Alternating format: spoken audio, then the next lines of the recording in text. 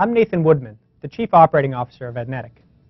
AIM Index at its heart is a web crawler that captures the words on a page like most crawlers, but it also captures a wide range of structural details that help us filter inventory for both cognitive relevancy and page quality, both of which are valuable but surprisingly elusive characteristics to almost every display media campaign.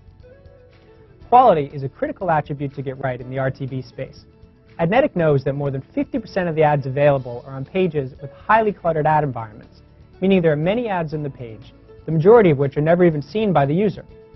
If an advertiser is not using AIM Index, they are likely serving ads within these environments, which end up hurting their advertising efforts more than helping them.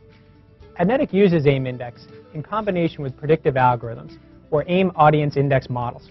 The combination of the two tactics ensure that every ad served is to the right audience creates a meaningful impact, and is optimized for both performance and price. Hi, I'm Trevor Blackford. I'm a research and development scientist here at Adnetik. Language is best understood in context. Even when you're talking about the same events, you'll use dramatically different language if your audience is your friends, your family, your employees, or your clients. Words take on different meanings in different contexts. Different industries often appear to have different dialects. The same is true for different products. Terms and distinctions irrelevant to some products are critical for others. The custom corpora we design for our clients capture this insight.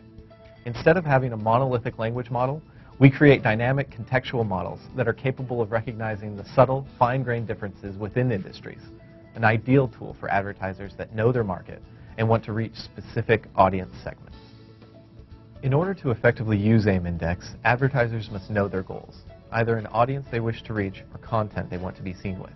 Once identified, we work with our clients to develop an appropriate seed that will be used to find web pages that meet those goals. A seed can be anything that contains language. Web pages, marketing documents, keyword lists, or news articles.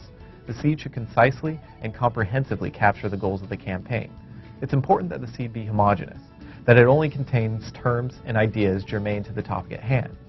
We score the seeds using our custom language models and return a list of URLs available in our inventory with content similar to the seed. This list is then filtered by desired page attributes, such as number and position of ads, the presence of video, the number of images, etc. The resulting list contains sites that are both highly relevant to the target content and will deliver valuable impressions in clean, uncluttered environments.